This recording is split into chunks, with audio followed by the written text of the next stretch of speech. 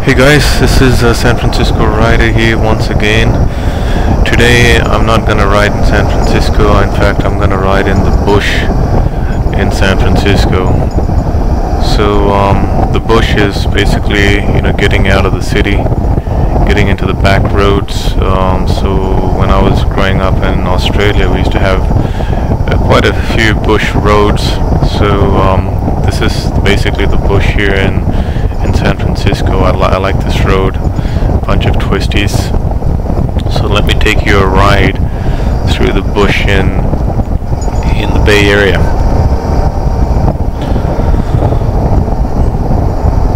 So this road is, uh, you know, pretty special to me because when I first started riding motorcycles, I used to come here and ride just to practice. Um, primarily because there was very little traffic here, so if I made an error, I'd be safe. So let me get past this car here and I'll tell you more.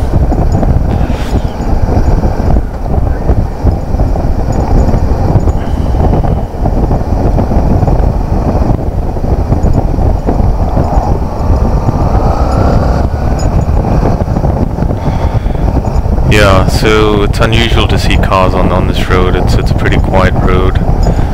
Um, it's still winter right here in San Francisco. We're transitioning into spring. Normally the scenery here is all kind of um, you know dry and brown, but it's it's pretty green right now because we just finally got some rain a couple of weeks ago. Um, but usually this is kind of like the desert reminds me quite a bit of Australia. We used to have bush roads like this. Um, so I come here to reminisce.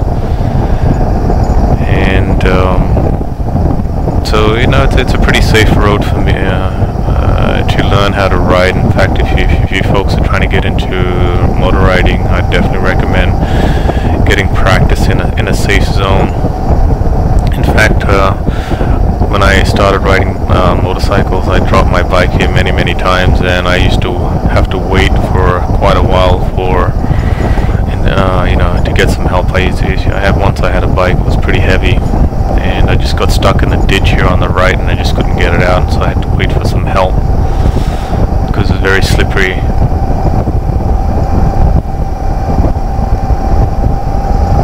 So this is a pretty relaxing road. Um, quite a few twisties. And not many people know that you can find these kind of roads here in, in, in San Francisco. It's just not the um, it's just not the city, right? If you can get out into the bush, you can get some pretty quiet rides.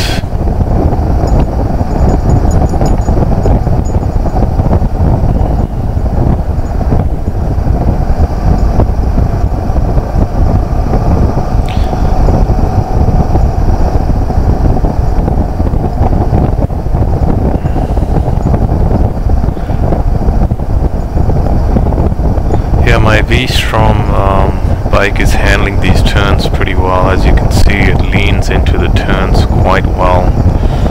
And, um, you know, I quite enjoy kind of getting on the angle since I'm sitting up pretty high. The feel of, you know, leaning into the curve is even accentuated more than on, on a sports bike. When I, when I was riding this on my Ninja 1000, I'd be very, very close to the road but now that I'm sitting up a little higher I feel like I'm I'm leaning more and it's a different leaning sensation.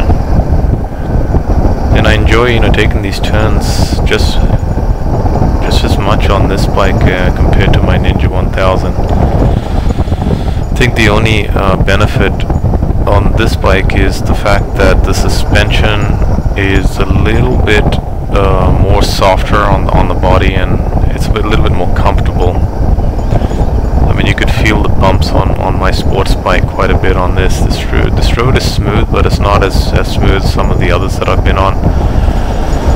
So the adventure bike um, in suspension really helps out here. And then sometimes when I want to go really wild, I, I just get off the, the main road here and go on a, a couple of trails. I'm not going to do that today, but that's the other advantage of you know riding this um, this adventure style bike that I can get on any trail and just get off the, the main road.